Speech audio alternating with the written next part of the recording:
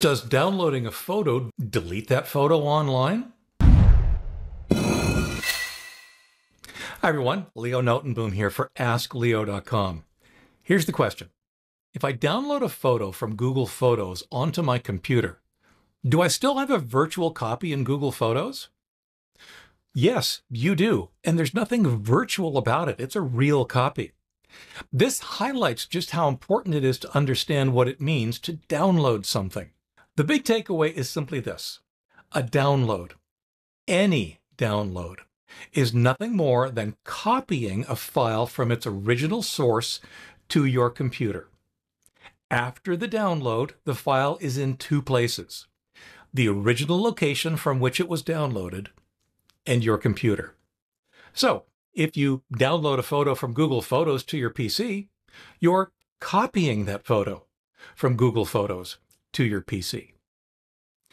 Now, there's another concept that we see a little bit more often in Windows file management, which is a move.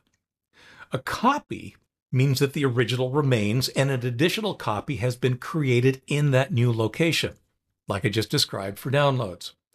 A move, on the other hand, means that the original no longer remains in its place because it has been moved to a new location.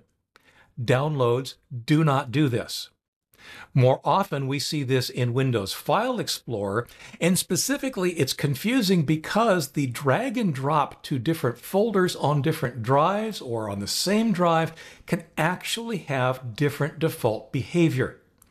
A drag and drop of a file could be a copy or it could be a move. You have to pay attention to where you're copying to in relationship to where that file is coming from, and pay close attention to the icon, to the mouse pointer that shows up when you're about to drop it. That will tell you whether or not it's a copy or a move. Now, where things get even more confusing is when we combine these two concepts, copy and move, and use them in places like OneDrive or other cloud storage utilities.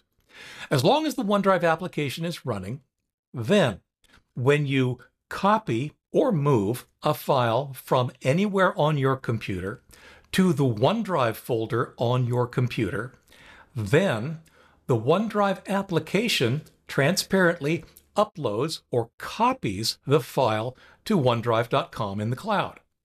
So you have the file in your OneDrive folder, typically C users your username OneDrive, and you also have that file in the cloud. The reverse is also true.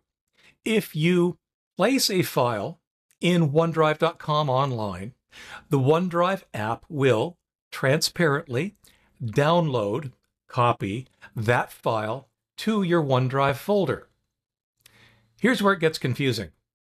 If you have a file in your OneDrive folder and you're fully synchronized, which means that that file also exists in OneDrive.com online.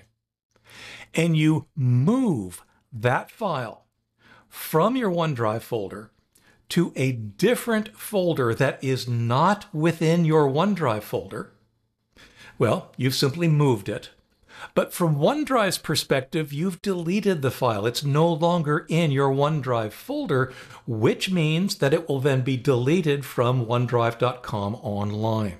So that's something to be particularly aware of as you work with files on your computer and using any of the cloud services like OneDrive or Dropbox or Google Drive and so forth. Speaking of Google, Google Photos doesn't work this way. Google Photos is online only. It doesn't involve any kind of synchronization component on your machine. Thus, a download is a copy. Period. When it comes to downloading from online services like Google Photos, there's really nothing to be concerned about. The confusion starts closer to home with Windows File Explorer and with online cloud services that do their job with a variety of both copy and move operations.